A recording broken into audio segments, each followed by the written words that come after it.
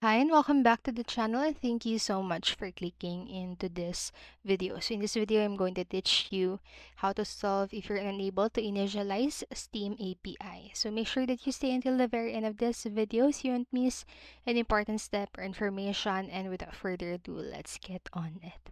So the error unable to initialize Steam API can occur after you launched any game in the Steam library, which prevents the user from starting the game and cause the inconvenience. So the first fix that we are going to do is to allow the game's executable in the firewall. So firewall may block the game's executable from connecting to the internet properly and give rise to the unable to initialize Steam API error. So you can follow the steps right here to make an exemption for the game's executable.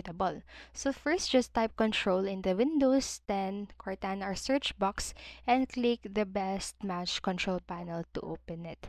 And after that, just set view by large icons in the upper right corner, right, right here, and then just locate the Windows Defender firewall and simply click on it.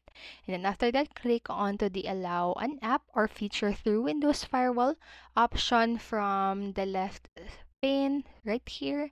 And after that, just find the problematic games entry from the list and then check the boxes for private and public networks.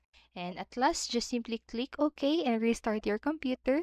After that, you can check if the error unable to initialize Steam API gets fixed. And then next, what you can do is to opt out of all beta programs in your Steam. So if you're using the Steam beta client, the Steam API not initialized error could appear. So as you know, Steam beta users receive the news updates ahead of time, but some features or some features have bugs which could lead to error like unable to initialize Steam API. So you should follow the steps right here to opt out of Steam beta completely. So first, just launch your Steam and click the Steam option at the top and then just choose settings and locate to the account tab right here account tab and then click the change under the beta participation section and choose the none opt out of all beta programs option from the drop down menu and click OK. And then just click Steam option at the top of the main interf interface and then click exit to exit Steam completely. And then right click on the Windows taskbar to open Task Manager, then choose to kill all Steam related processes in Task Manager. So right click the Steam related processes just like this one.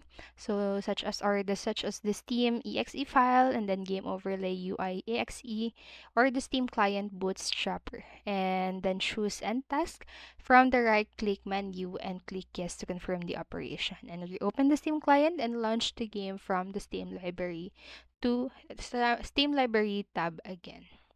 Then you can check if the error unable to initialize Steam API disappears. And so that's it for this video and I hope this helped you. And if it did, please make sure to like, subscribe, and hit notification bell button so you won't miss a video. Thank you so much for watching and have a great day. Bye-bye.